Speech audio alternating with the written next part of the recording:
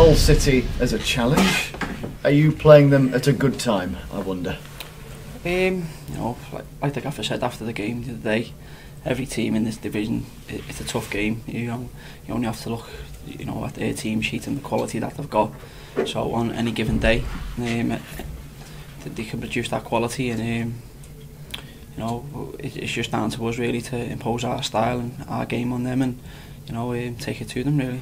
You do wonder whether the start will be important. I know you can perhaps argue that it always is, but when you are maybe facing sides at different ends of the table, whether psychology plays its part. So United get on the front foot, it could be business as usual. If not, they're not. Yeah, you know, maybe teams think that are playing against us, you know, if they could weather the first 15 minutes, you know, it stands them in a better stead of, of getting a point or, or the three points. But, Um, you know, we do like to start quick and you know take the game to teams, but um, I think I'd like to think the way we play wears teams down as well. So you know we, we come strong in, in, later in games as well. So e, e- either one, it doesn't really matter as long as we get the points.